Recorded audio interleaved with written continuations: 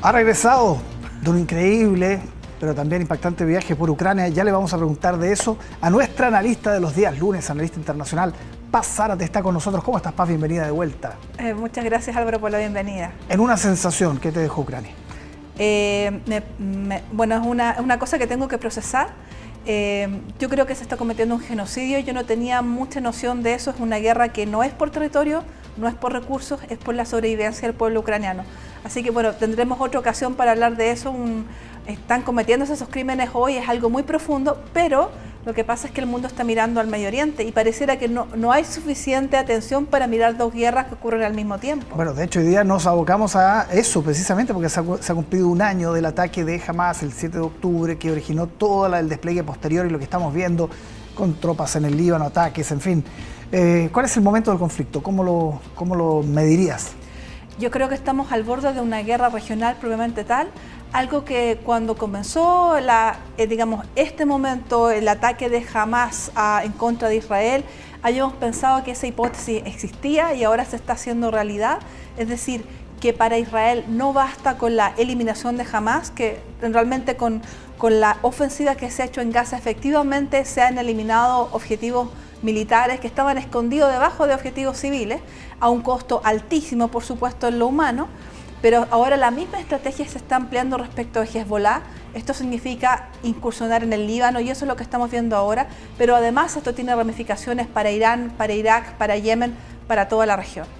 Ahora, eh, una, hipótesis de un conflicto regional eh, podría involucrar también a potencias fuera de esa región, ¿no? Por supuesto, sí, efectivamente existe eso.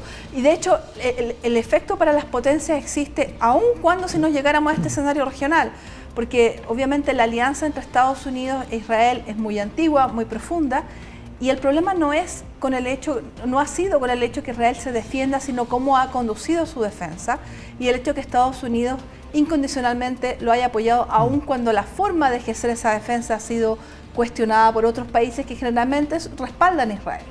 Entonces hay un problema porque si no se produce un cambio en cierto momento, por más que el objetivo sea legítimo, la forma está afectando a Israel y a los aliados de Israel y además a todo el sistema internacional. Porque efectivamente aquí hay que mirar las cifras.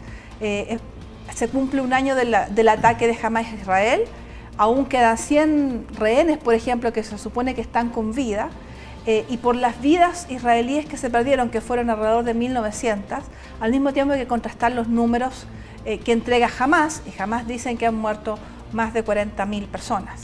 Entonces, la verdad es que es, un conflicto que está, no tiene ninguna semblanza de querer parar, ningún interés de las partes en un alto al fuego o de negociación, aunque estos contactos se están manteniendo y al contrario, el potencial es que esto se expanda y que afecte también a los aliados de uno y otro lado. Por un lado, Israel tiene Estados Unidos y probablemente a Alemania, y por el otro lado, jamás se ha apoyado en el eje de la resistencia sus aliados de siempre, es decir, Irán, Rusia, hasta ahora, eh, eh, y, lo que pasa es que aunque jamás militarmente sí se ha debilitado, por otro lado, existe Hezbollah y Hezbollah es un objetivo mucho más largo plazo tratar de destruirlo. Sí, ahora Estados Unidos con Biden, ya en el, ocaso de su, carrera y de su mandato, em, si bien ha respaldado algunas acciones de Israel, le ayudó a neutralizar los eh, misiles iraníes, de alguna manera ha frenado también algún ímpetu de ir a atacar a Irán, no ha respaldado ciertos planes israelíes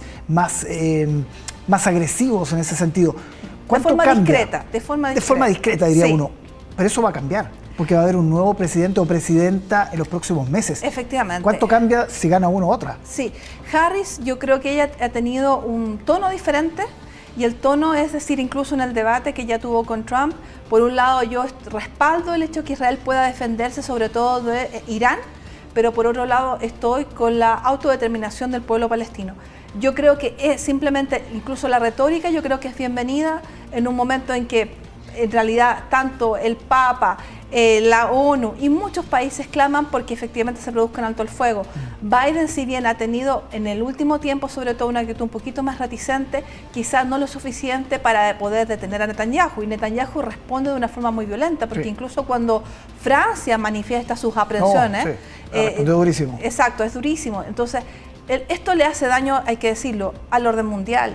No solamente a Israel, que reputacionalmente, reputacionalmente Israel ya ha perdido esta guerra, por mucho que la gane en términos militares. A los aliados por, por apoyar a Israel, esto le hace mal al sistema internacional. El sistema internacional está hecho no para impedir todas las guerras, para, para impedir las más grandes. Y el problema es que tanto Ucrania por un lado como el conflicto en Medio Oriente se están convirtiendo en guerras muy grandes. ¿Y si llega a ganar Trump? Si llega a ganar Trump, bueno, el potencial de que estos conflictos se profundicen y que incluso haya nuevos conflictos, dado que la mirada de él es solamente el interés propio, es muy grande. La verdad es que para efectos de, la diplomacia norteamericana eh, y, para el, y el riesgo además que se corre de que la influencia norteamericana continúe en declive, eh, sería muy negativo que ganara Trump y, bueno, Kamala Harris. En realidad no es una continuación de Biden, yo diría que ella tiene un cierto impulso propio, es lo que se puede avisorar, em, que en realidad trataría de ayudar al término de los conflictos, pero no de la manera que Trump ofrece, de una manera, Trump dice yo terminaría con la guerra en 24 horas. Ninguno de esos conflictos puede terminarse en 24 horas, ni, ni en Medio Oriente ni en Ucrania, eso no es realista. Pasarate, muchísimas gracias. Qué bueno tenerte de vuelta. Gracias, hasta la próxima. Que estés muy bien. Hacemos una pausa. Hay más Tele 13 Noche al regreso, no se vaya.